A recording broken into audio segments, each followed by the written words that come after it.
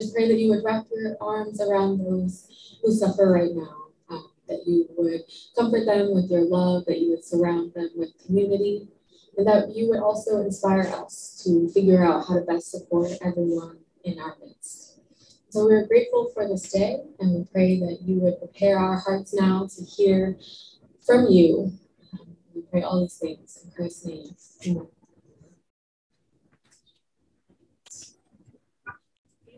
That's all yours.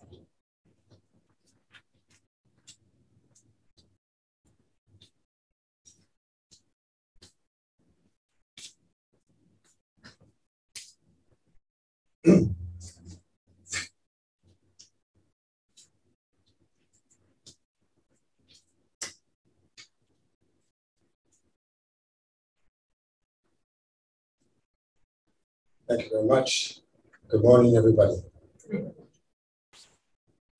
scriptures today is found in Acts 2, the first uh, 21st verses. When the day of Pentecost came, they were all together in one place. And suddenly a sound like the blowing of a violent wind came from heaven and filled the whole house where they were sitting. They saw what seemed to be tongues of fire that separated and came to rest on each of them. And all of them were filled with the Holy Spirit and began to speak in other tongues as the Spirit enabled them. Now there were staying in Jerusalem God fearing Jews from every nation under heaven. When they heard this sound, a crowd came together in bewilderment because each one heard them speaking in his own language. Utterly amazed, they asked, Are not all these men who are speaking Galileans? Then how is it that each of them hears them in his own native language? Parthians, Medes, and Elamites, residents of Mesopotamia, Judea and Cappadocia, Pontus and Asia, Phrygia and Pamphylia, Egypt and the parts of Libya near Cyrene, visitors from Rome, both Jews and converts to Judaism, Cretans and Arabs.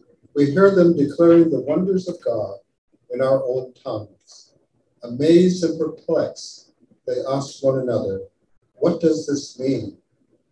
Some, however, however, made fun of them and said they have had too much wine. And then Peter stood up with the eleven, raised his voice, and addressed the crowd fellow Jews and all of you who are in Jerusalem, let me explain this to you. Listen carefully to what I say. These men are not drunk, as you suppose. It's only nine in the morning. No, this is what was spoken by the prophet Joel. In the last days, God says, I will pour out my spirit on all people. Your sons and daughters will prophesy. Your young men will see visions.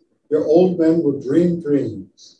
Even on my servants, both men and women, I will pour out my spirit in these days, and they will prophesy. I will show wonders in the heavens above and signs on the earth below blood and fire and billows of smoke. The sun will be turned to darkness and the moon to blood before the coming of the great and glorious day of the Lord. And everyone who calls on the name of the Lord will be saved. God bless to our understanding and to our everyday living the message found in this passage. And now may the words of my mouth and the meditations of our hearts be pleasing and acceptable in your sight, O Lord, our strength and our Redeemer.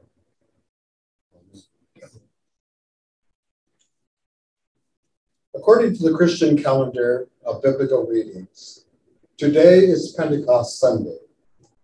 Since the 1969 event in New York City, today is also Pride Day.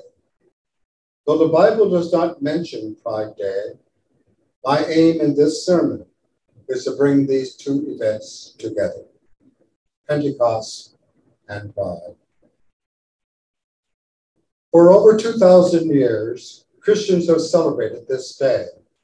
which beginning with Easter Sunday occurs 50 days thereafter.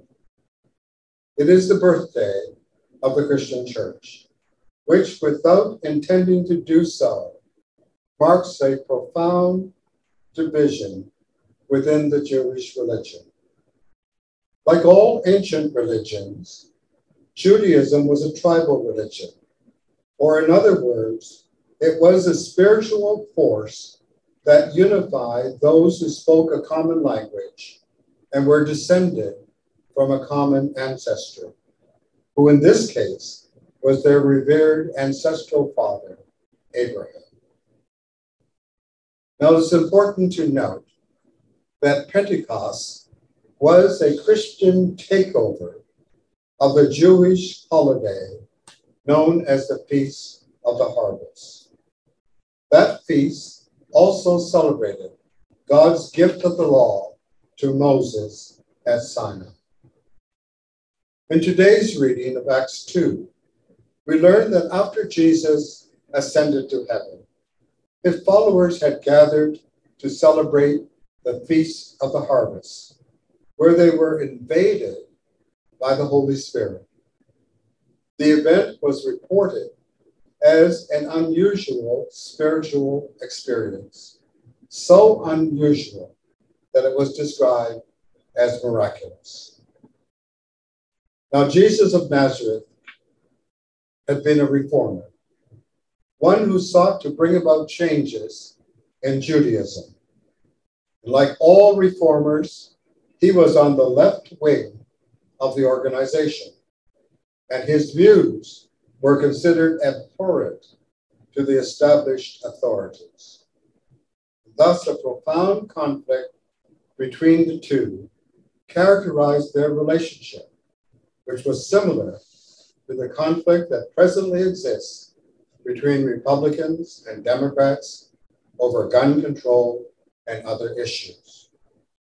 That is to say, those who are in authority and those who seek change represent opposing worldviews that openly conflict with each other. Yet it is, it is important to note that Jesus and his followers were Jews who did not seek the destruction of Judaism, but simply wanted to correct its wrongdoings by urging it to renew its covenant with God in light of new insights deeply rooted in the law, in the prophetic teaching, and in the patriarchal wisdom. But in ancient times, and especially in tribal religions, assassination was the most prominent way of dealing with reformers, whom the ruling authorities considered to be troublemakers. Now, I should make it clear that when I speak about a tribal religion, I do not mean to imply any disrespect for the notion of tribe itself, because a tribe is simply an ethnic group related by blood and territory. In fact, a tribe is much like a family, though on a larger scale. Like families, however, tribes are insular in nature. Under normal conditions, neither families nor tribes have any impulse to embrace the internal values or traditions of other tribes or families. That is what being insular means. It means isolation. And when living alongside one another, both families and tribes, as we know, must work hard at being good neighbors because caring for one's neighbor does not come naturally. And so the problem is not tribe, but tribalism. Attempt to make your own values universal. Now let us move from this brief sociological analysis to the theological importance of Pentecost. Clearly, the Pentecost event was an earth shattering experience. Its spiritual significance was remembered because of its surreal character that had an enduring effect on Jesus' small, fearful group of followers, who, while still mourning his horrific death, had experienced the event firsthand, one that the writer of the Acts of the Apostles reported as a miracle because it was incomprehensible. At each annual feast of the harvest, people from a wide variety of tribal groups always gathered in Jerusalem, the capital city, where the Ark of the Covenant was located in the temple. It was a great annual event, similar to our Christmas celebration. The smells of different foods permeated the air, as did the voices of people speaking different languages Hebrew, Greek, Latin, Coptic, as well as those of the Medes and Elamites, the Parth- Parthians, the Phrygians, Pamphylians, the Libyans, the Cretans, the Arabians, and others. Under normal circumstances, most people would have been oblivious to the smells of various types of food, and they would have paid no attention to the sounds of languages that they did not understand and viewed as a lot of meaningless chatter. But on this occasion, they were able to hear and understand the message in their own languages, which utterly amazed them. Since the disciples had come from what many viewed as the uneducated and provincial backwater towns and villages of Galilee, those who heard them speak were all the more amazed by their ability to communicate with them across so many different languages. Consequently, they jokingly thought that the disciples must be drunk. But their leader, Peter, immediately entered that humorous spirit by saying, No, they are not drunk, because it is only nine o'clock in the morning, thus implying that had it been later in the day, the accusation might have been more accurate.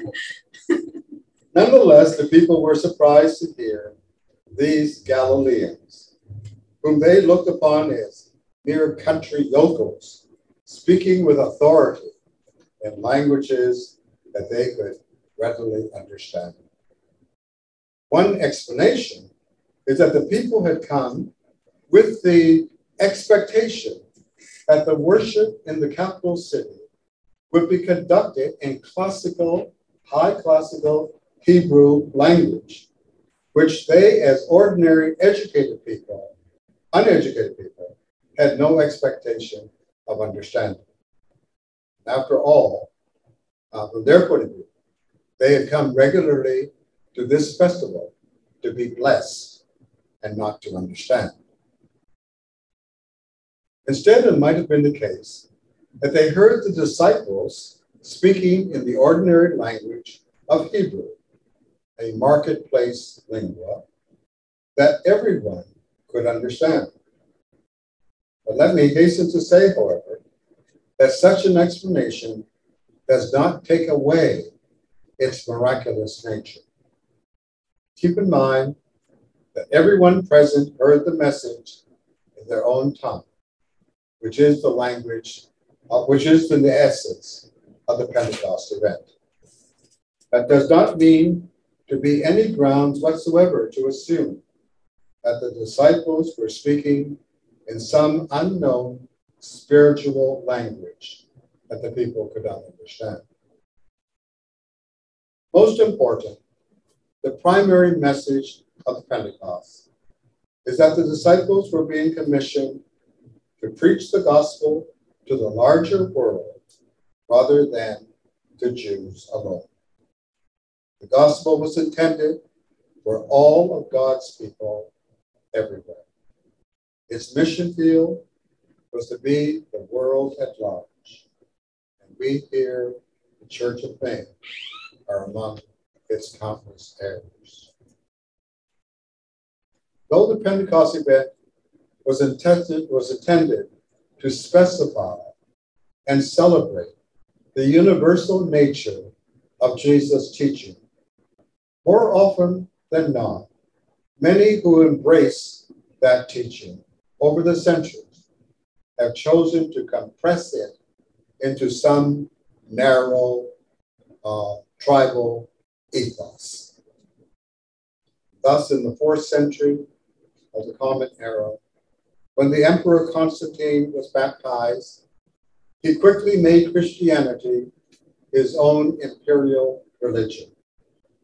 By doing so, he ended the many persecutions of Christians by making Christianity the official religion of the empire.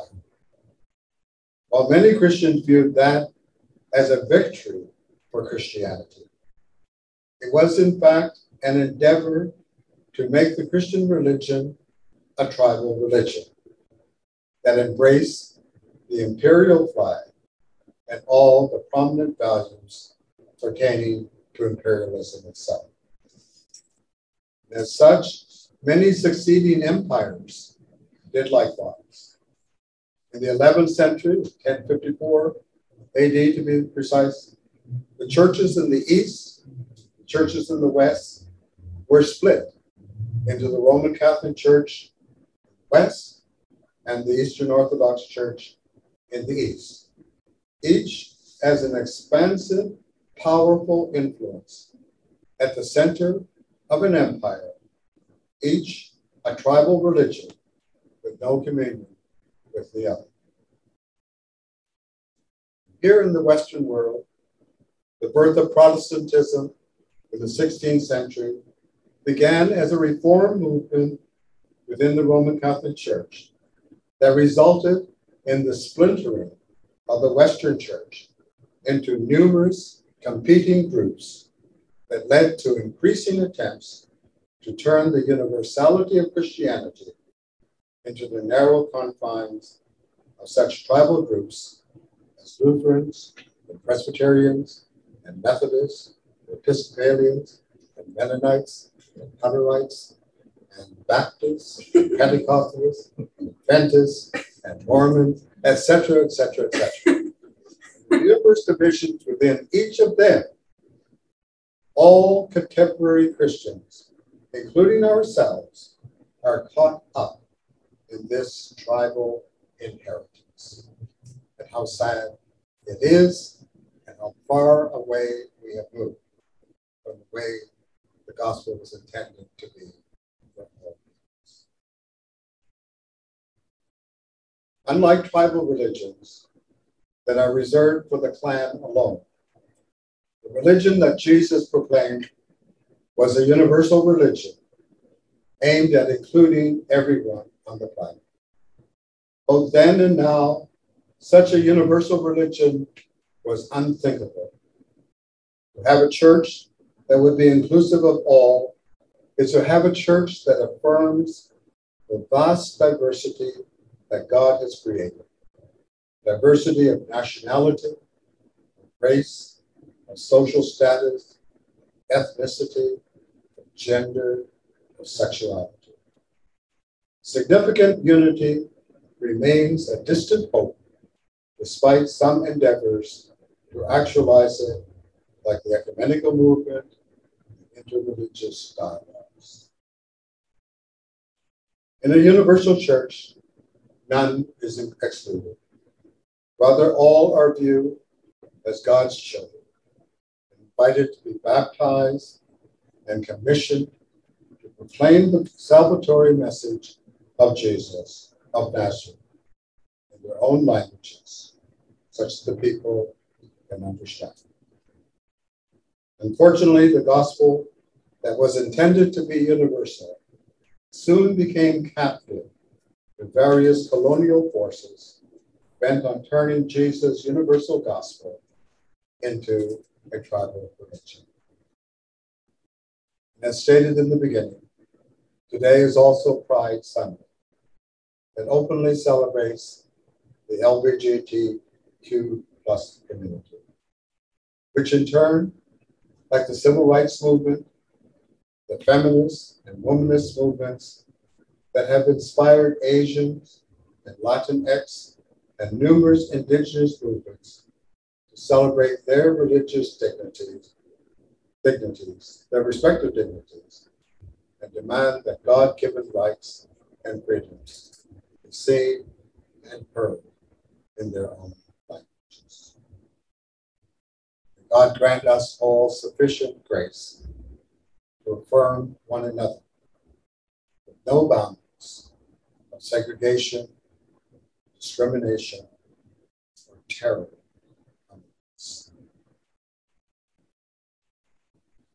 Amen.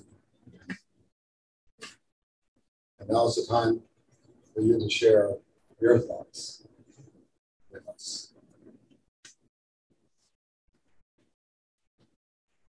I want to say, thank goodness it's you that was reading the scripture with all those names and different Because I'm like, I don't know anybody that would have done a better job to be able to pronounce all those. Um, thank you for, as you always give me a different view. Earlier, you said that Jesus was a reformer, reform, wanted to reform Judaism, which was a tribalist religion. And yet, his message you said was universalist. So was the plan that it was only going to come after his death that the message, the universalist message? You see where I'm, there's, it seems conflicting. Am I making sense? Say something more. Say Okay. Well, you had said earlier, and I always thought Jesus didn't establish Christianity because he just was trying to reform Judaism. And Judaism was a tribal religion. And then you said Jesus' message, which I agree with too, is universalist. And yet there seems to be an incongruency there between the tribalism of Judaism and him wanting to reform that. Which particular right, that particular tribal religion versus in the universalist message, and maybe it was Pentecost where that that God's will was coming down, that it was the universalist for everyone. It wasn't as apparent. Jesus's because Jesus seemed to want to just reform Judaism. He didn't seem like he was interested in starting a whole new, right? Mm-hmm. Yes. The, the way I would respond to that to say that Jesus viewed the universality of the gospel, that God being universal for all people, and that is deeply rooted in Judaism, and that Judaism had misunderstood, or Judaism had intentionally turned what was um, to be universal into a tribal religion. And he was born into Judaism, but, but commissioned uh, to really dig deeply into Judaism and to try to teach the Jews that their understanding of, of religion being a very narrow uh, thing for the, for the Jews alone, that that was not what the intention was. And that in they looked closely at the laws and closely at the at the teachings of the ancient the ancient teachings of the Jewish fathers. They would see the uh, that how the universality uh, was uh, was, was was compressed uh, into uh, tribal thing for the clan alone, whereas it was to be for all of their neighbors and beyond. Yeah. Does anybody want to say tendency of human human nature to say what I know and what I believe is right. Yeah. Right. Yeah. Yeah. I think it seems like uh, the universal nature was always the goal. Like you see threads of that through Judaism, but you know, there's a tendency just box people in. Um, but even like you know, we know that Israel is called for everybody, for the Gentiles, to be a light to the whole world in, in so many ways, like maybe something else. So I don't think Jesus came to like start a new religion, but like, you know, I do think he was like, this was always the goal. What happened? yeah. And I think what happened to people is yeah. yeah.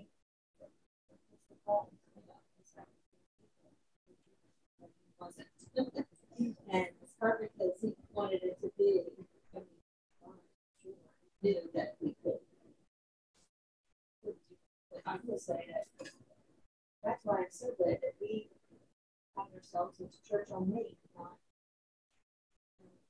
I mean, I guess I remember it wrong, but we don't count ourselves as that as such because it's the footnotes. Yeah.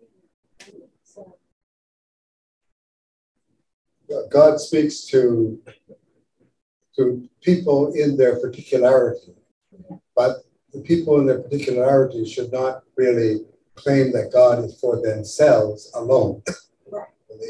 but that it's the eternal, universal God speaking to our particularity, but our particularity must respect that and, uh, and, and go up to others rather than simply uh, and hold on to the God for ourselves. Exactly. So many, so many churches, you know, don't. The communion table is not open to people unless they embrace everything that they feel are essential. That's not Judy. It just makes me thinking about um, how how much religion has been used to have power. Yes. And, um, and, and for Christians, they, for me, and I've heard so many times, where where it's not universal, is that they'll say, um, they'll use the scripture that that only way you can get to heaven is through Jesus. And so that eliminates all, all the other religions all the and all the other powers in this world and brings it right back down to it. And that's another little section that you get beat over the head with by the Bible. So it, it just, um, I mean, I can't, for me, I cannot believe that people can't see a God who is a God for everyone. I mean, to me, that just makes common sense. If, if, if he if he was responsible for all of creation and he was responsible for everything that we have in this world today, then surely everyone who is human should come under that umbrella. And if we if we, we think that if we say that God is just what we think God is, what we think God is, then we limit God already to our own limited perspectives. And God is universal and eternal and, uh, and is for all people who see glimpses of God only as glimpses, but in their own tongues, in their own visions. I mean, we can relate to them more than we've ever been able to relate to other people yeah. of other religions and other countries because of the famine and the wars, the things that draw us as humans to each other. So it, it just just seems common sense to me. I, I, I don't know why you make everything so difficult. That's fair. well, when we think of it from this point of view, the, the whole missionary movement of the 19th century and so forth is very, very problematic in the way in which it went about it. There was nothing wrong with them trying to proclaim God to all peoples in the world, but to but to say to those peoples in the world that their views of God were idolatrous and was wrong. Uh, I, I, lived for a time in Nigeria, and there was a Baptist seminary there, and at the end of the other seminaries as well, but at the um, and there were Baptist schools, uh, boarding schools, and the children were inspected were were, were instructed, and this is both in the, in the boarding schools and in the seminary to when they went back home to their villages for the summer vacation, that they should try to gather up as many of the so-called idols that they could find in their households that were often kept in basements and underneath the houses and so forth, and brought out for certain certain festivals. They were to bring those back in their school bags, and then the school would have a big bonfire uh, and burn them all uh, in the in the schoolyard. And this actually happened over and over again. And so, because the idea was the, the limited idea of the missionaries was that these people were doing something terribly, terribly wrong by, um, by using these so-called idols uh, as aids to their, to their worship, and that they should only use the, the Christian idols, the Christian Yeah. symbols, the cross and so forth, which were, you know, from their point of view, look, were what they were doing. so. like what you said about um, the, uh, that people being able to, everybody spoke in their own tongue, but to speak in their own language, and I think that's really beautiful to me in of like the universality of God's love, because I think also we try to just change people and make them all like us, and I think especially in light of pride, you know, it's like we either want you to be straight or like at least pretend to be so that you can be part of the community instead of like living and speaking way and expressing yourself. So I just think about that. Yes. I spent my whole working life teaching foreign languages, Yes. largely because I thought they were fun and also important for people to, to learn, you know, for, for communication with other, other peoples.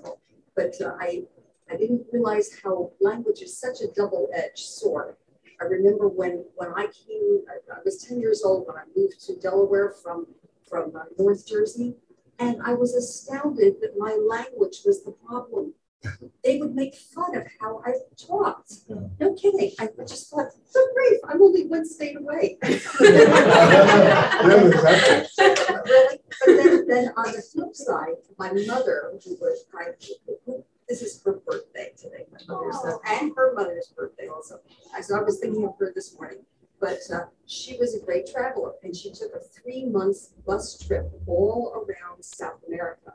And before she left, because she didn't know any Spanish, she said to me, Allison, I want you to write down one piece on one good piece of paper, you know, it won't wrinkle too much, uh, the following things, you know, my name is whatever. I, I have, you know, six grandchildren. I love your country. I, you know, you know, what, whatever. So there were like 10 things that she wanted to be able to say in Spanish and, yeah. and also ask it like little kids, how old are you and what's your name yeah. and stuff like that.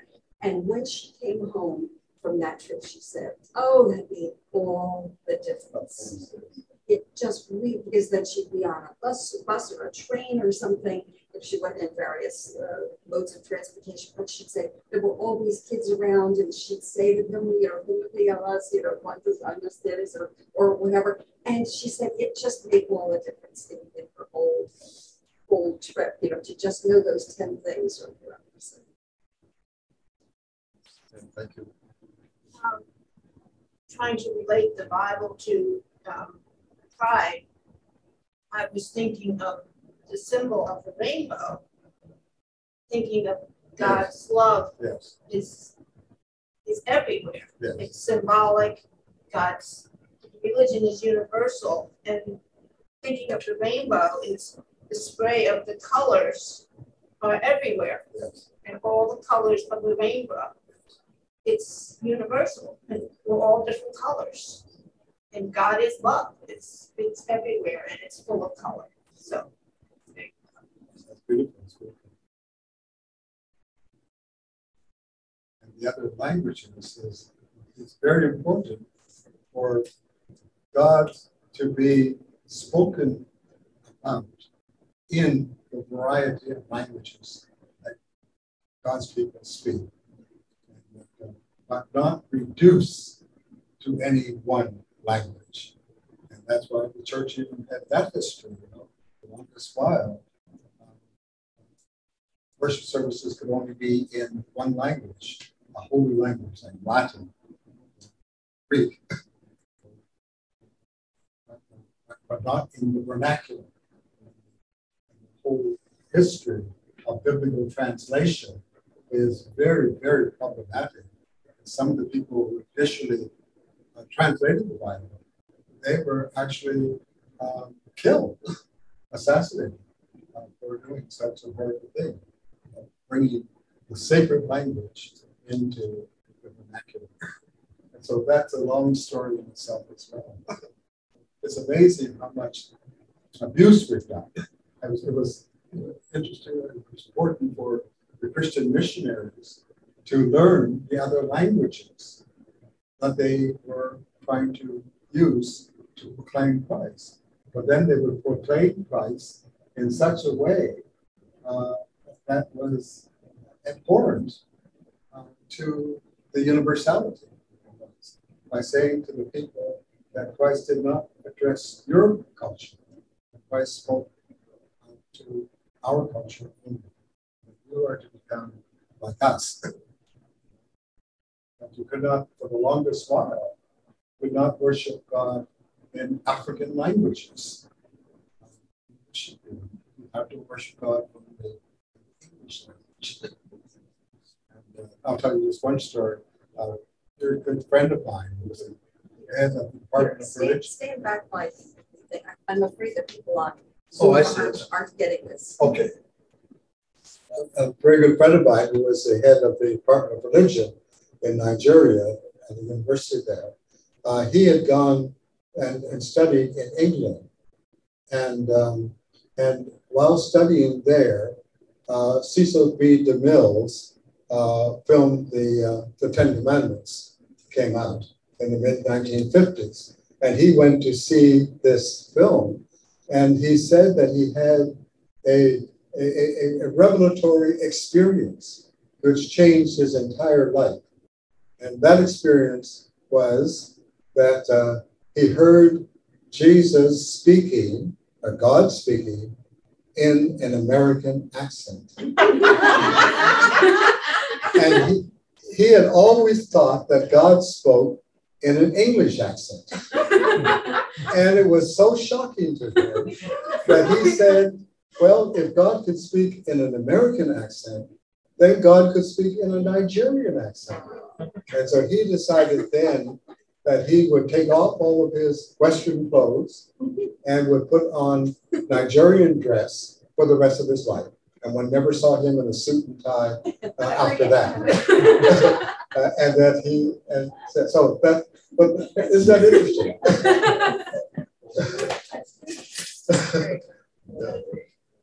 Again, the whole business of partic- particularity and universality.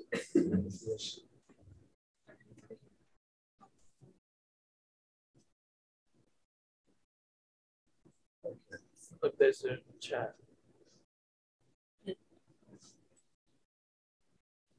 Well, thank you all very much. Yeah.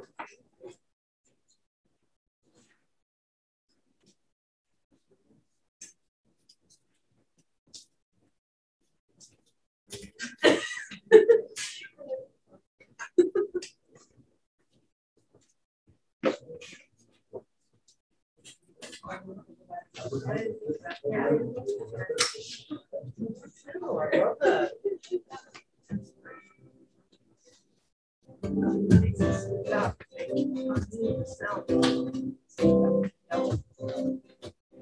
got the whole world in God's hands. Got the whole wide world in God's hands. Got the whole world in God's hands. Got the